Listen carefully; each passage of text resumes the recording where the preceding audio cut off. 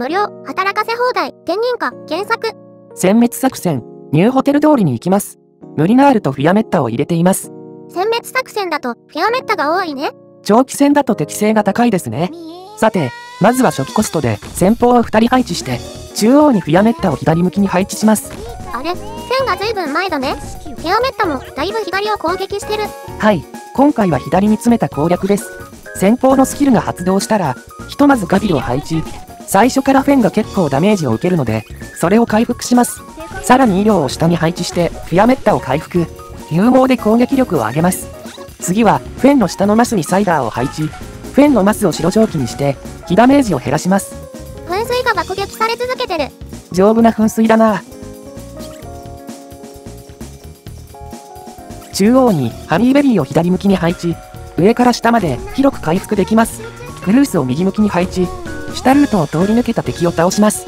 そして青ゲート前にクムを配置。サイダーを置いて白蒸気にします。下ルートに来た敵をブロックしますがもしかしたら一番最後の重装羊以外には不要かも。確認サボったな。コストが溜まったらフェンをマッターホルンに交代。さらにバーダントをその下に配置してムリナールを左向きに配置します。ようやくムリナールが出てきた。まあまだしばらくはスキルを使わないんですけどね。クーリエの左にサイダーを配置フィアメッタの上のマスのフレンド羊を出させて消費しておきます。もし置かなかったらどうなるの？フレンド羊が残っているとボスの第2形態が来た時にピンク蒸気が来てフィアメッタが大ダメージを受けます。ふむ。さてここから撃破215までは放置です。しばらく見ておきましょう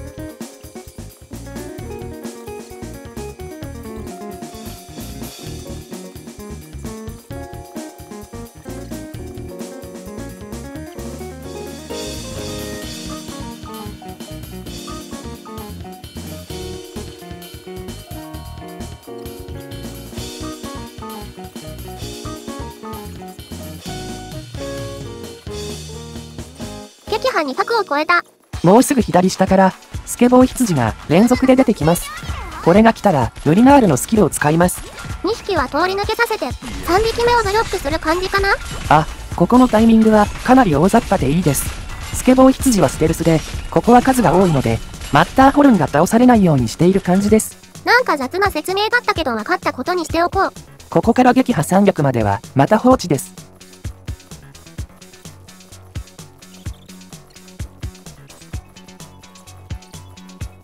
撃破300で、フレンド羊がたくさん出てきます。これで、キャラのイルマスがピンク蒸気になっちゃったら、サイダーを置いて、白蒸気に戻しましょう。ガビルがピンク蒸気になってるかな？はーい、サイダー置きます。グムのところもピンク蒸気になりやすいけど、今回は白のままなので、サイダーを使っていません。この辺りから、ムリナールのスキルを計画的に使っていきます。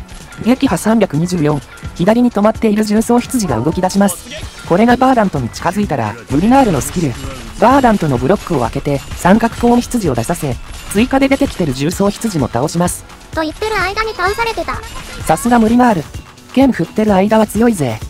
次のスキルは、撃破342です。あんまり間がない。使ってこそのムリナール。今、バーダントが重装羊をブロックしていて、左から2体目が出てきたら、ムリナールのスキル。1体目を早めに倒して、バーダントのブロックを開けます。バーダンと倒されたみたいだけど、マッターホルンのところに行くまでに倒せれば、問題ないですね。撃破350。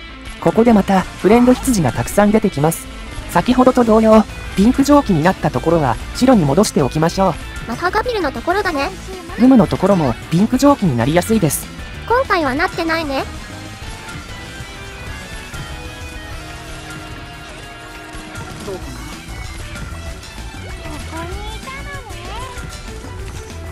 さて、もうすぐ撃破361です。ボスが出る前にクーリエを下げて手元に戻しておきます。そしてクルースを上向きのメテオに交代。メテオは防御ダウンがある上に、カジミエ主人名でムリナールと相性がいいです。ほうほう。そして、ボスが出る前にバーダントを撤退するんですが、手間取って撤退を失敗しています。噴水を選んでる。バーダントを撤退したら、そこにサイダーを配置して、マッターホルンを白蒸気に戻し、戻しそこにフェンを配置して、メテオがボスに攻撃されないようにします。もうすでに攻撃されてたね。手間取りすぎた。ボスが左で一旦止まって、動き出したらムリナールのスキル。ボス討伐開始。ボスがフェンのマスまで来たら、フェンの右にサイダーを配置。ボスのバリアを剥がして落とし、この場で第一形態を倒します。お、第一形態倒せた。ボス復活中。ボスが第二形態になったら、マッターホレンのスキルを使います。これでマッターホレンが倒されないようにします。ちなみに、クローラの場合だと倒されました。鉄攻撃だからか。メテオをまた、右向きのクルースに交代。ボスがマッターホレンを通り抜けたら、フェンを撤退して、そこにまたサイダーを配置。マッターホレンのマスを白蒸気に戻します。ボスが右上に抜けていった。ボスは右上を何周かした後、また戻ってきますので、それまでは放置でいいです。別の敵を倒していきましょう。ボスが自ら時間を稼いでくれてる。今の間に宣伝。今回も別の編成での攻略がありますので、よければそちらもご覧ください。概要欄から行けます。次のムリナールのお時間です。左から出た重装羊が、下のムリナールの攻撃範囲に入ったあたりで使います。これで、重装羊と喧嘩羊を両方倒します。ル何でも倒す。ムリナールのスキルが終わる頃、上の通路を喧嘩羊が通り抜けたら、上の通路にバーダントを配置。この後の喧嘩羊1体をブロックします。今来ているやつは、クルースで削ってから、メテオの上抜きに交代。クルーズで削ってなくない？はい、交代が早すぎましたね。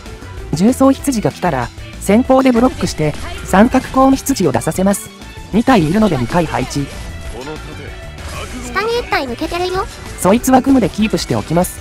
グムがブロックしたら三角コーン羊が出るんじゃないの？出ますけど、倒さなければピンク蒸気にならないのです。なるほど。ボスが近づいてきてる。ムリナールのところに来た頃に、ムリナールのスキルを使います。スキルを使ったら、またサイダーを配置。これでボスをダウンさせて、そのまま倒しきります。